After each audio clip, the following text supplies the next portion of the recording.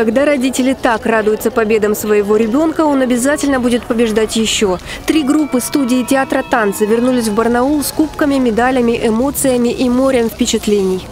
Все выступили достойно. Мы очень гордимся нашими детьми. Они большие молодцы. Они у нас бойцы, спортсмены практически.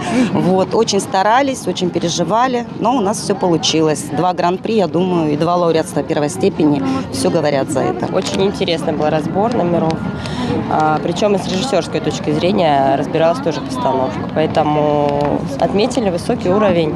И театр танца все-таки театр танца показался. Ну что, друзья мои, я сегодня чебурахнулся к вам на вашу встречу, чтобы сказать вам, какие вы молодцы. А побеждаете вы почему? Потому что у вас большие, добрые сердца. Поэтому все победы вам по плечу.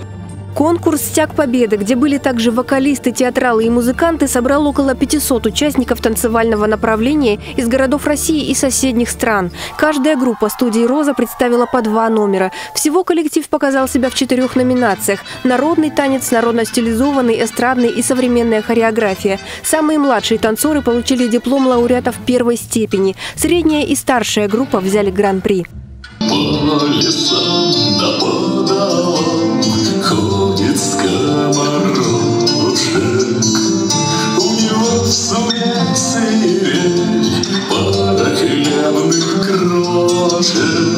Отметили очень сильно, что у нас разнообразные номера, что в них есть э, сюжетность.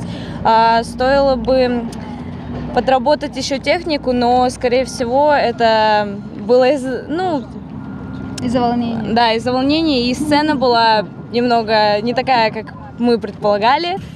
В ближайших планах подготовка к отчетному концерту. Он состоится в конце мая. Летом творческие смены в профильных лагерях и подготовка новых номеров для новых конкурсов. Коллектив взял курс на Москву.